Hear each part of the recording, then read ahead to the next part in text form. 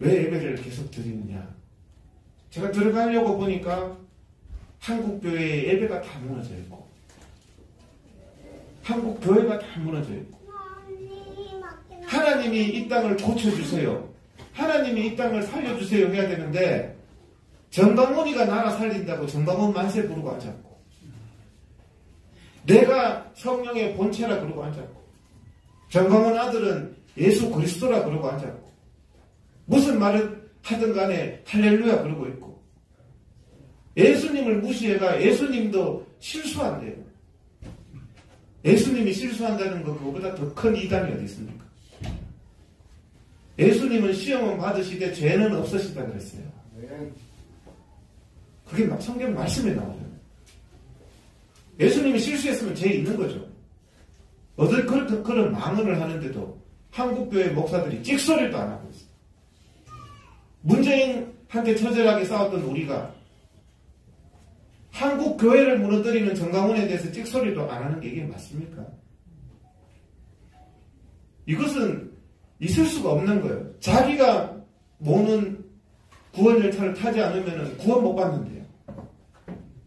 이보다 더 심각한 이단이 어디 있습니까? 이단들이 하는 말이 그거예요. 왜 이단에 빠지느냐? 거기 안 오면 구원 못 받는다 하기 때문에 빠지는 거예요. 그 말 하는 자체가 이단입니다. 신천지 안 가면 이단, 구원 못 받는다 하니까 신천지 대가리 밀고 들어가는 거예요. 정방은 똑같은 말 하잖아요. 나한테 안 오면 구원 못 받는다. 그런데 왜 침묵합니까?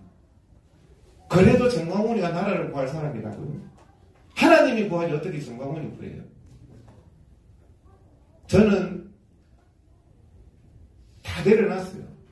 이제 말씀을 마무리하면 갈라디아서에 너희가 성령으로 시작해서 육체로 마치려느냐.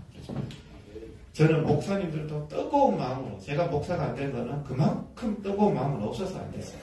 근데 뜨거운 마음으로 목사가 되신 분들이 왜 육체로 마쳐요? 어디 가가 줄 서고 마지막에 노년에 비참하게 애국운동 태극기 뜨겁게 흔들었던 사람들이 지금 보면 너무 추해 정강훈 돈이나 가라 그러니까 가지고 어디 비비려고 그러고. 차라리 저는 집에 가세요.